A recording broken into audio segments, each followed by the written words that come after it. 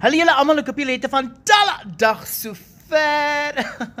Oor my kidding, ons is nog steeds fucking locked down en nêrens om te gaan. Ek sit met my kopdoek aan want hoekom moet ek my hare blas vir wie? Ek gaan fucking nêrens nie. Ek het al klaar my shopping gedoen vir die week. Jy weet mense kan net soveel keer ehm um, brood koop.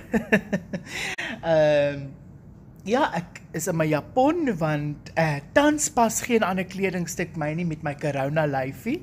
Ehm um, ek vreet mos my emosies. So uh, my wange lyk soos twee fucking aardappels van al die vet, maar dis deel van corona. Ons het dit verloor na corona.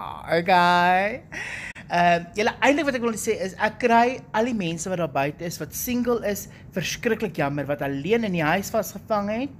Ehm um, en daarom wil ek vir julle sê ek deel julle pyn. Ek deel julle pyn ek gaan iemand kort wat na corona my kom help om my kamer te redecorate want dit is maar nou ongelukkig die lot die lot van single wees nê nee, tannie Palm en haar vyf dogters so ek het net 'n idee dat as jy nou in my kamer ingaan met 'n UV light dan lyk like alles soos Dalmatians of polka dot van die komsel wat oralste is. Mamma moet maar met haarself lol.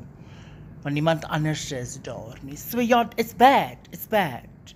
Ek weet van julle, ek weet julle vingers is rou, julle riempies en klokkies is is rou gelei, is rou. Byt vas.